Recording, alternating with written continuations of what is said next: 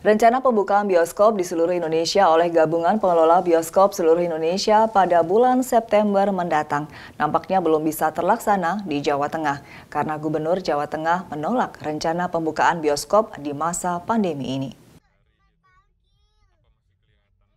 Hal ini disampaikan oleh Gubernur Jawa Tengah Ganjar Pranowo usai bertemu dengan Gabungan Pengelola Bioskop Seluruh Indonesia di kantornya.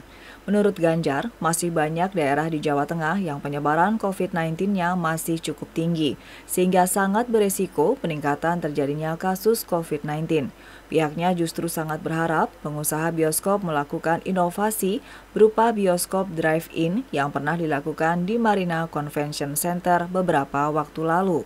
Sebab dengan cara itu, maka penonton akan mempersiapkan diri dengan baik di mobil masing-masing dan mengurangi resiko penularan uh, pesannya untuk Jawa Tengah ya hati-hati dulu, apalagi kayak Semarang. Saya menyarankan jangan sekarang.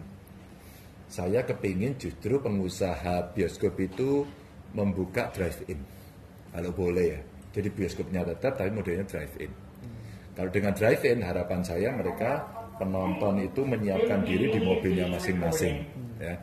Kalau itu masuk di dalam uh, gedung, maka gedung mesti disiapkan. Harapan saya sih gedungnya juga dilengkapi dengan HEPA filter, terus sebelum dipakai ada UV-nya, kalau itu bisa dilengkapi mungkin akan sedikit aman. Karena apa? Karena posisinya itu tertutup rapat. Jadi saya khawatir kalau ada orang droplet di situ, AC-nya tinggi dan kemudian ini ngabluk-abluk muter-muter begitu, itu kan berbahaya. Itu kan berbahaya. Itu uh, kita sampaikan. Namun Seandainya di daerah-daerah yang sudah hijau dan kemudian dipersiapkan dengan baik protokolnya, saya kira boleh juga lah nanti kita uji coba ya, kita uji coba. Gabungan Pengelola Bioskop Seluruh Indonesia menyatakan segera membuka secara serentak bioskop di seluruh Indonesia. Pembukaan dilakukan setelah izin dari pemerintah yang sudah diajukan keluar. Pengurusan izin telah dilakukan dan diperkirakan akan keluar dalam waktu 2 hingga 3 hari.